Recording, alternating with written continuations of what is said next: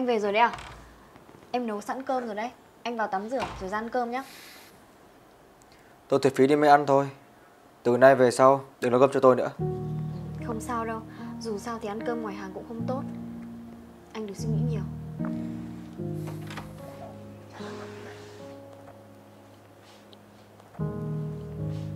Mẹ và bố thế nào rồi à?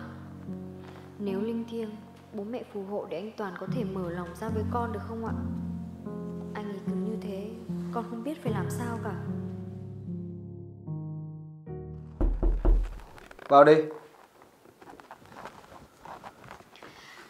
Chủ tịch, đây là bản kế hoạch của phòng kinh doanh. Mời chủ tịch xem qua ạ. Cô hoàn tất trong một ngày sao? Dạ, em không muốn ảnh hưởng đến công việc của chủ tịch. Được rồi, cô về làm việc tiếp đi. Dạ vâng. Ờ, ừ, em thấy sáng nay anh vẫn chưa ăn sáng. Hay là để em... Không cần đâu, cô về làm việc đi.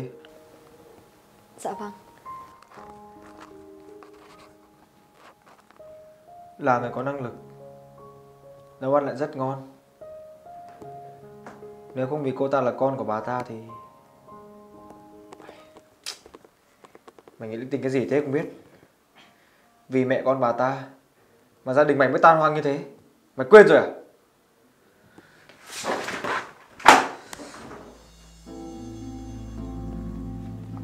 À,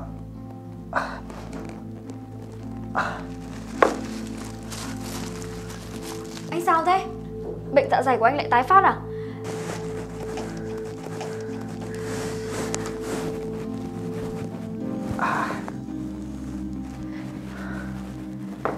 Anh uống thuốc đi. Em đã dặn anh rồi là không được bỏ bữa sáng mà. Anh bị dạ dày như thế cơ mà. Không cần cô quan tâm. Đi ra ngoài đi. Tôi nói gì cô không nghe rõ à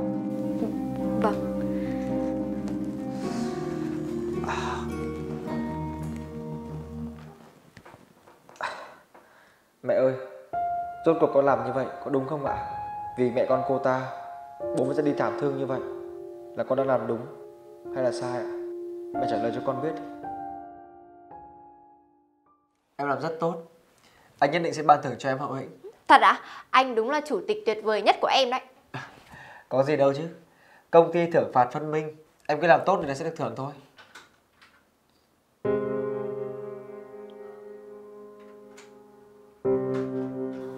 giờ thấy anh ấy vui vẻ với mình Như cách anh ấy vui vẻ với cô ấy Vâng, em cảm ơn chủ tịch. À mà anh này, sắp tới công ty có đợt tuyển nhân sự mới đấy. Anh có tham gia trực tiếp xét tuyển không ạ? Anh không Những việc như vậy Dương làm rất tốt Anh tin tưởng cô ấy sẽ chọn được người phù hợp Cũng đúng, chị giỏi như thế, thích thật đấy. Hai anh em nhà anh lại còn làm cùng một công ty, cùng nhau tiếp quản sự nghiệp bố anh để lại nữa. Đúng là... Anh em cái gì chứ Em đừng có nói linh tinh Ờ, nhưng mà cố chủ tịch đã để lại một nửa tài sản cho chị ý rồi. Không phải là anh em thì là gì ạ? Thôi em về làm việc tiếp đi Đừng nói linh tinh nữa Nhân viên khác nghe thấy lại hiểu lầm đấy Dạ vâng ạ.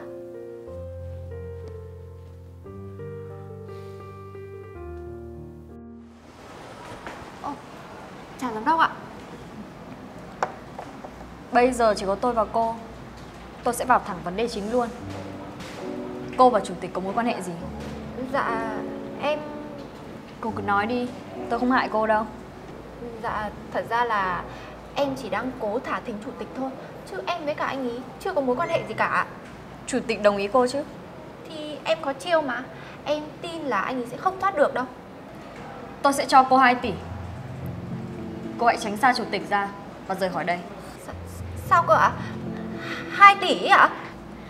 2 tỷ với một nhân viên bình thường như cô ấy Không phải là ít Hơn nữa tôi sẽ tìm cho cô một công việc Ở một công ty mới Cô sẽ có một cuộc sống mà cô hằng mong ước Mà sao giám đốc lại làm như thế ạ?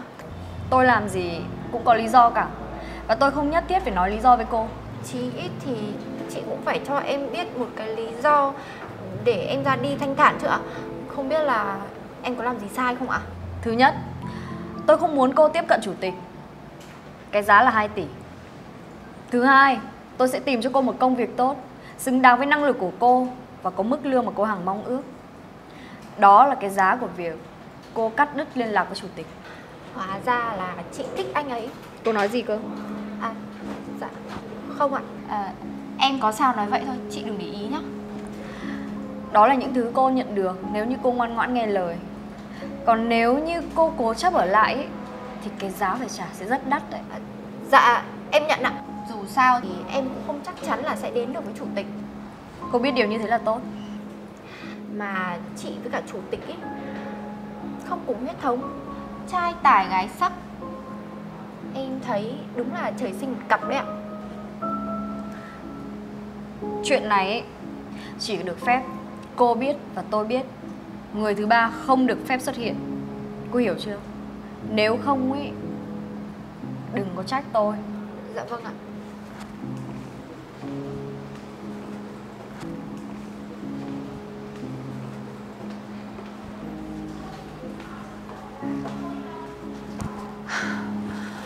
Hồn Cứ tưởng là sắp chết đến nơi rồi.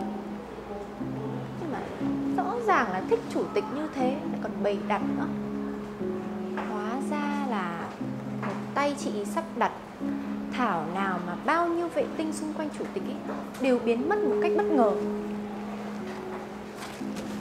Mà thôi Cũng hời cho mình quá rồi còn gì nữa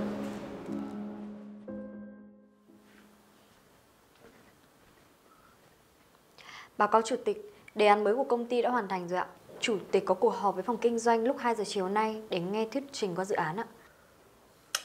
Cô có biết vì sao cô My ở phòng nhân sự tự nhiên lại xin nghỉ việc không? À, chuyện này tôi cũng không rõ. Cô ấy vừa sinh, đã làm việc tốt nữa. Tự nhiên lại mất liên lạc, đến tôi gọi cũng không được. Không biết là vì sao đây. Nếu như không có chuyện gì khác thì tôi xin phép. Tất cả những cô gái mà tôi đang có ý định tìm hiểu ấy Không hiểu vì sao lại tự nhiên biến mất đột ngột như thế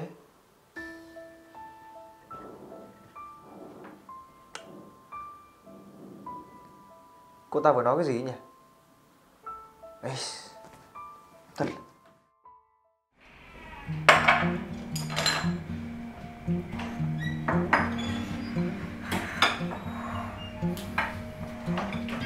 Anh đi làm việc rồi đấy ạ.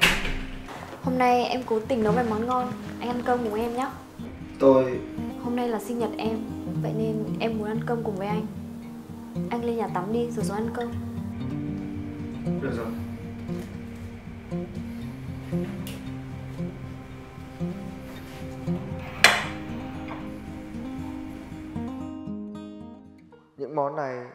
mẹ vẫn thường hay nấu cho mình ăn? Tại sao cô ta lại biết nhỉ? Lần đầu tiên khi mẹ dẫn em bước vào ngôi nhà này, Em đã rất thích. Ừ, thích không phải là vì sự giàu sang ở đây, Mà vì bố rất tốt Và vì anh rất giỏi. Em rất ngưỡng mộ anh Và lúc nào em cũng cố gắng để được giỏi như anh. Anh ăn cơm đi.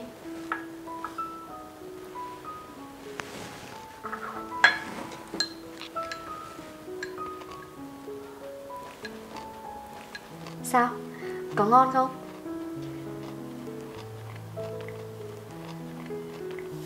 Bố đã kể chuyện với em về anh rất nhiều. Bố nói những món ăn này là những món anh thích nhất. Em đã cố tình nấu món này vào dịp đặc biệt. Em mong là anh hãy mở lòng với em, Coi em như là một đứa em gái.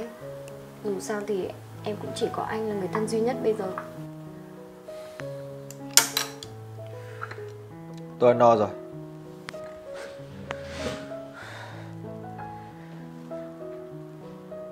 Tôi không phải là người thân của cô. Tài sản cũng đã chia cho cô cả rồi. Cô nên mau chóng Dọn đồ rời khỏi đây đi.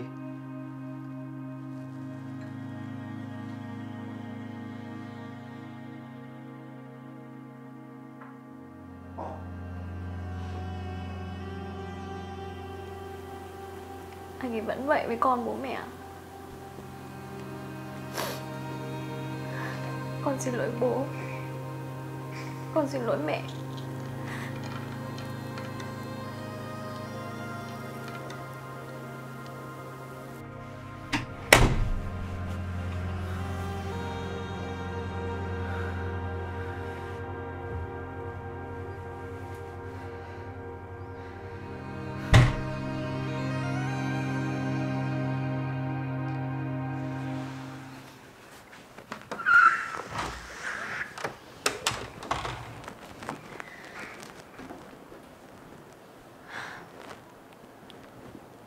Xin lỗi vì đã làm phiền anh trong thời gian qua. Em sẽ rời khỏi đây. Đơn nghỉ việc em cũng đã để trên bàn làm việc của anh. Tạm biệt anh. Chẳng phải đây là mong muốn của mình sao? Cô ta đi rồi, mình vui mới phải chứ. Từ nay về sau, không cần phải đối mặt với cô ta nữa rồi.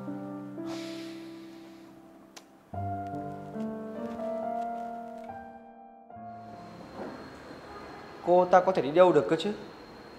Lại còn từ chức nữa. Cô ta muốn làm gì?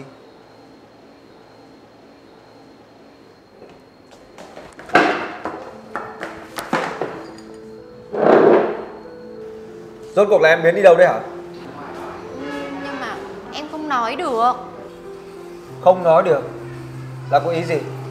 Thì chị Dương không cho em nói Tại sao lại liên quan đến cô ấy? Nói đi. Dù sao thì cô ta cũng từ trước rồi. Cũng đã dọn đi rồi. Không còn là em gái tôi nữa đâu. Sao cơ? Chị ý thích anh như thế Mà lại đồng ý biến mất khỏi cuộc đời của anh á? Thích tôi á? Thì chị ý là người mua chuộc em Cho em tiền Rồi còn cho em một vị trí tốt ở một công ty khác. Chỉ vì là nhìn thấy em nói chuyện vui vẻ với anh mà. Có chuyện như vậy sao? Không những thế nhá. Tất cả những vệ tinh vây quanh anh ý Đều một tay chị ý dọn sạch hết. Mà nhá Ai cũng đều vui vẻ rời đi cả mà. Là cô ta phá đám tôi à? Anh làm sao ấy nhỉ Chị ý vừa xinh vừa tốt với anh như thế. Thế mà anh lại không nhận ra tình cảm của chị ý ạ. Tình cảm cái gì chứ? Anh thử nghĩ xem. Bây giờ nhá Anh với chị ý không cùng chung một dòng máu. Mà tất cả những vệ tinh xung quanh anh ấy Thì chị ý đều dọn cả. Như thế không phải thích anh thì là cái gì làm sao có thể như vậy được? Sao lại không? Anh làm thế nào mà để chị ý phải từ chức Rồi còn dọn đi? Chắc là chị ý phải tuyệt vọng lắm đấy. Này, Không phải là em nhiều chuyện đâu, Nhưng mà hai người ấy, Tuy là bố anh với cả mẹ chị ý Đã kết hôn với nhau rồi, Nhưng mà dù sao thì họ cũng đã mất rồi. Bây giờ kể cả là anh với chị ý đến với nhau ấy, Thì bố mẹ ở trên trời Chắc chắn là sẽ rất là vui vẻ với cả mãn nguyện mà. Chủ tịch, anh đi đâu đấy? Lúc nãy mình có nói bậy gì không nhỉ? Mặc kệ, đâu phải là chuyện liên quan đến mình Chỉ tội mỗi chị Dương thôi Chủ tịch cũng là cố chấp mà Alo, em nghe đây ạ? Dạ vâng, em đến rồi ạ Vâng vâng, em lên ngay đây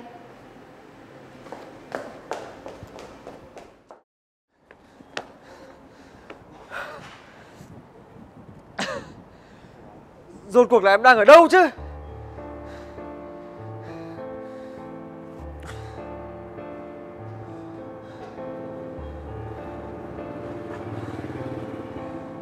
Cậu giúp tôi Thuê một đội thám tử Tìm gấp tung tích của giám đốc Dương Nhanh đi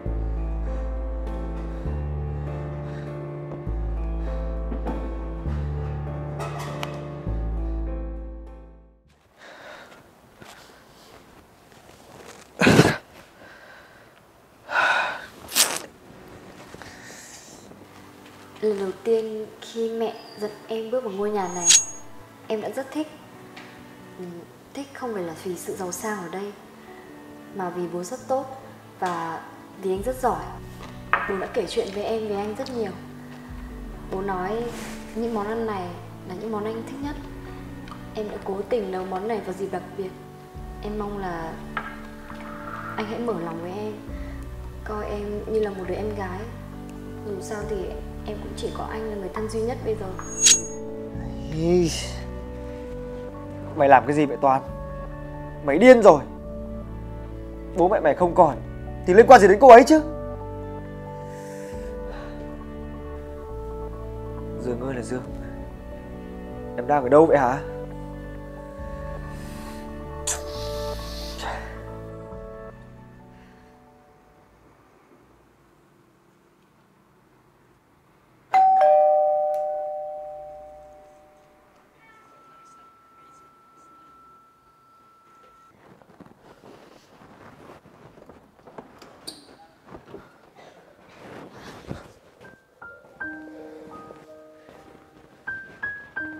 Anh sai rồi.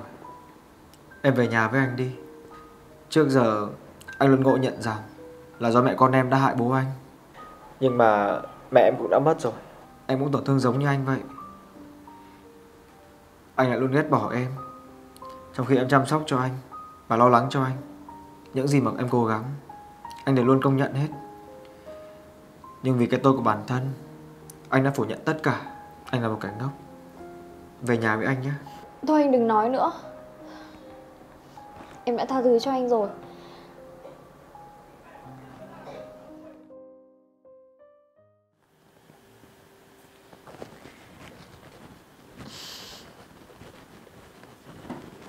Anh đang làm gì vậy? Anh đang xem lại mấy dự án mới thôi. Mà này Em tính là Bao giờ em về công ty làm việc lại đấy? Không có em anh vất vả nhiều lắm. Em quyết định rồi Em sẽ không về công ty làm việc nữa. Nếu như có việc gì thì em sẽ hỗ trợ anh từ xa. Em có dự định khác à? Dù sao thì cũng có quá nhiều người biết chuyện. Em sợ không đối mặt được. Em ngại gì chứ? Mình đâu có làm gì sai hay là phạm pháp gì đâu. Ừ, Thực ra thì em đã có kế hoạch riêng của mình Chứ không phải là vì chuyện đó. Em cũng không phải là người để tâm đến lời đồn của thiên hạ. Hóa ra là vì anh Mà em trở nên mạnh mẽ như vậy à Em thấy như vậy cũng tốt mà. Em cứ ở yên trong nhà đi. Từ nay về sau Anh sẽ lo hết cho em. Không được. Em không quen trở thành người vô dụng như thế. Với lại em cũng không quen với cuộc sống bó buộc như vậy. Hóa ra là vậy. Được rồi. Thế thì à, em cứ làm bất cứ gì em thích nhá. Miễn sao em vui là được.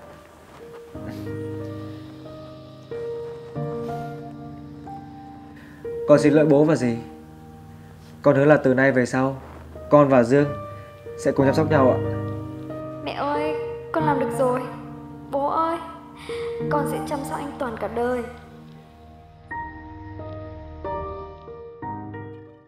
Xin chào các bạn. Chào các cô, các chú và các bác. Chắc hẳn là tất cả mọi người vừa được xem xong một tập phim rất hay đúng không ạ? Thì uh, ở kênh FM TV ấy, có nhiều lớn tuổi xem quá. Nên cháu xin phép được xưng hô là mình cho nó phù hợp ạ. Mình là Toàn Phát.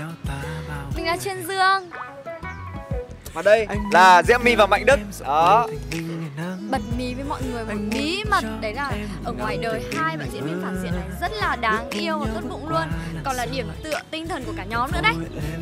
Nếu như mà mọi người yêu quý nhóm mình ý thì có thể kết bạn với từng thành viên qua Facebook ở trong phần mô tả bên dưới nhá. Còn nếu mọi người yêu thích nhóm mình thì rất đơn giản thôi. Hãy ở nút like ở bên dưới nhá.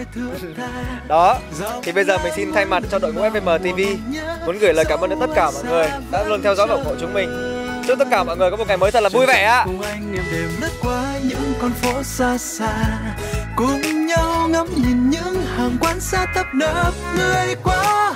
Anh ước em sẽ cảm nhận hết, sẽ yêu nơi mà anh lớn lên.